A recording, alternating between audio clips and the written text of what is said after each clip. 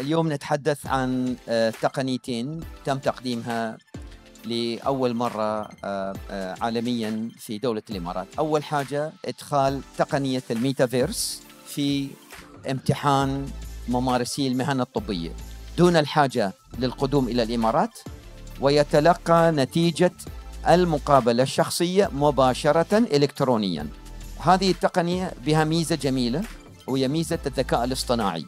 تقوم بقراءة ملامح الوجه بالتحكم في منع التلاعب والغش وسوف يتم التطبيق التدريجي ابتداء من الأسبوع القادم.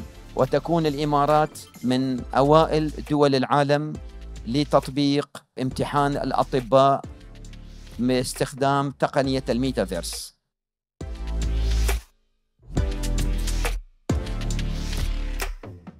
هنالك تقنية قدمت على منصة الوزارة هذه باستخدام الكاميرا الحرارية بتقنية عالية وسوف يتم إجراء الدراسات السريرية في دولة الإمارات قريبا وعند نجاح إن شاء الله التقنية سوف يتم تطبيق هذه التقنية في الإمارات وإحدى الدول كأول دولتين على مستوى العالم.